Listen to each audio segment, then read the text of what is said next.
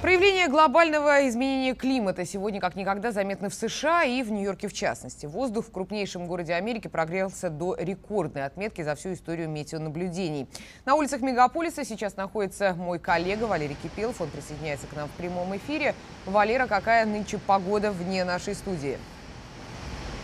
Привет, Лиза. Погода в США сегодня столь же разнообразна, как и сама Америка. От минус 17 по Цельсию в Северной Дакоте, это крайний американский север, до плюс 27 на южном берегу солнечной Флориды. При этом, в общем и целом, температура для конца декабря очень нехарактерная и преимущественно высокая.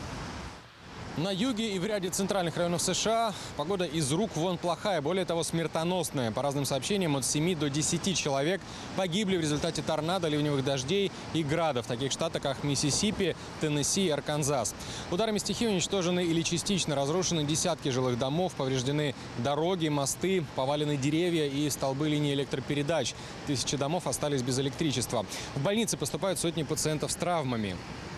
Для нашего города это просто разрушительно. У нас очень мало ресурсов. Карета скорой помощи, она же пожарная машина. Еще есть одна цистерна и один насос. И все. Вот раскапываем завалы, чтобы пожар не случился.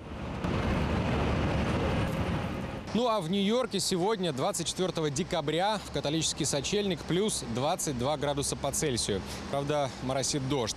В День независимости 4 июля этого года в городе Большого Яблока было всего на градус теплее, плюс 23.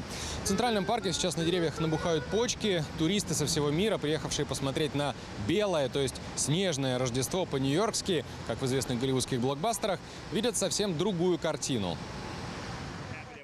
Я очень рад, что мы прихватили с собой футболки с коротким рукавом. Такого мы точно не ожидали. Я не раз бывал в Нью-Йорке зимой, и обычно тут в это время года лежит снег. Тогда это, конечно, больше похоже на Рождество.